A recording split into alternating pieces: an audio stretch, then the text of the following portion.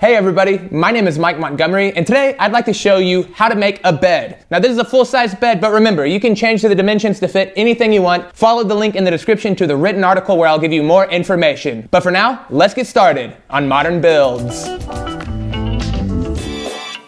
This project is built out of really simple materials, 1x4s, 1x2s, and 2x2s, and I started by cutting those 1x4s to length.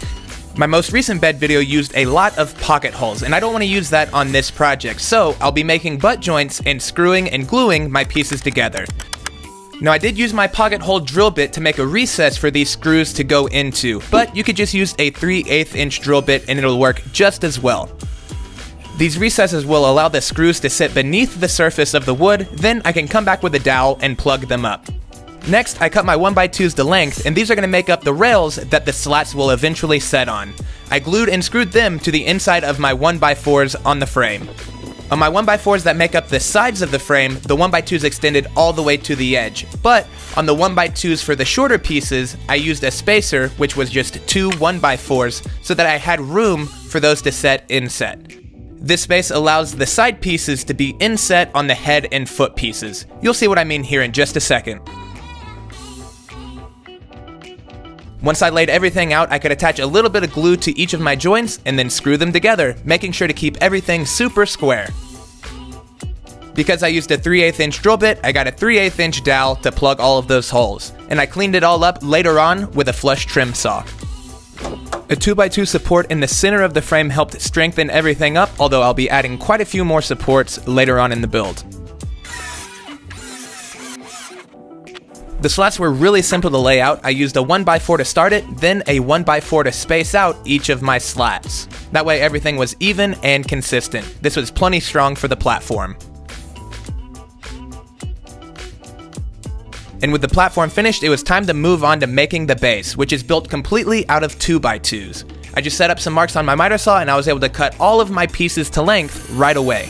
Sometimes I need to make repeatable cuts that are too short for a stop block, so making this little mark is a quick way to get that repeatability, and I can come back with some mineral spirits or acetone and clean up the miter saw later.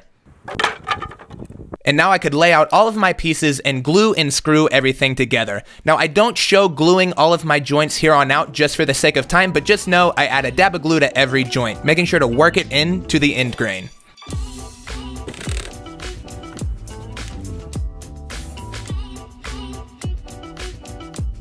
Next, I needed to flip my platform upside down to attach the base, and I pre-drilled holes so that everything would screw together easily.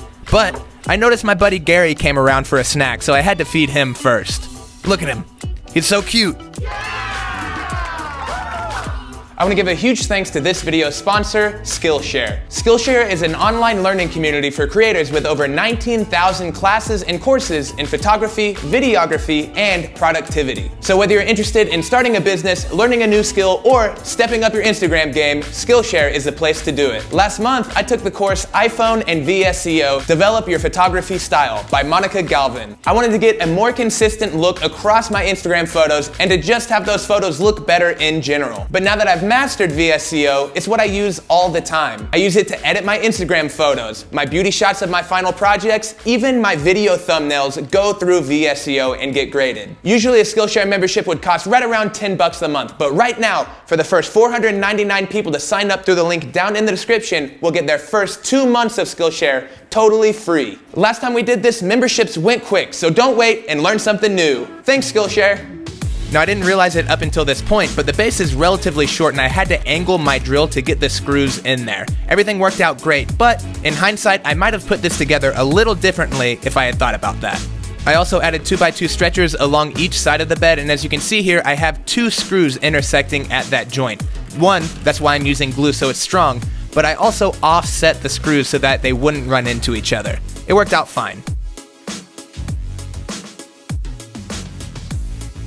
I tested the bed out and it had a little bit of movement, but with a mattress and the weight being dispersed, it probably would have worked fine. But this is YouTube and I like to overbuild, so I added some supports to make everything a little bit stronger. The leg in the center of the bed is crucial to making it sturdy, and trust me, it works.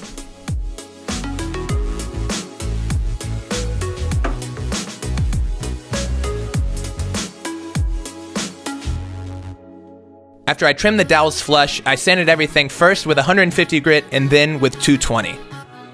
It's been a minute since I've stained anything, and out here in California there is a Varathane wood stain. So I'm gonna give this a shot. It's called American Walnut. Wish me luck. Applying stain really is pretty simple, I just don't do it very often, but I thought this bed would look great with a little bit of a darker color. I applied the stain liberally and then wiped off the excess about 5 minutes later. Then I put on 3 coats of Varathane polyurethane to go along with it.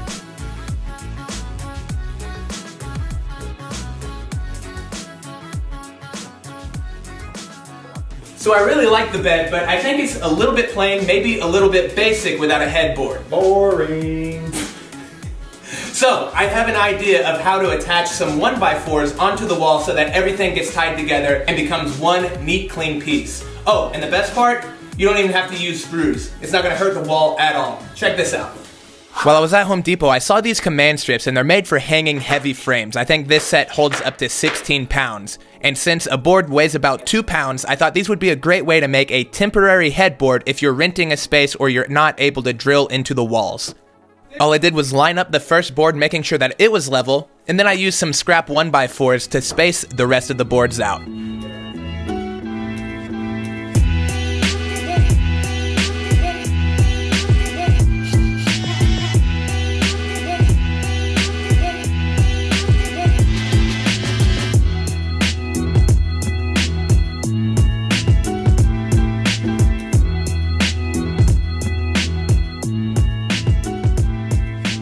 If you plan on building this project for yourself, make sure and follow the link down in the description to the written article on my website. I'm gonna have a cut list for a full-size bed. If you're building a queen or a king, you're gonna have to do math, I'm sorry. But I will have a SketchUp file that you can download and edit, so hopefully that makes your life a little bit easier. If you're new to my channel, I'd love to have you stick around, maybe watch a couple videos. How about that bed that I built last week? Or a random video here that YouTube suggests. I don't know, hopefully they do a good job. And if you haven't already, make sure and subscribe. That way you can stay updated every time I post a new project video. Finally, if you're not following me on Instagram, I got amazing stories. I'm talking killer Instagram stories. And good posts. It is at Modern Builds. So thanks everybody for watching. Hope you have a great rest of your week, and we'll see you next time on Modern Builds.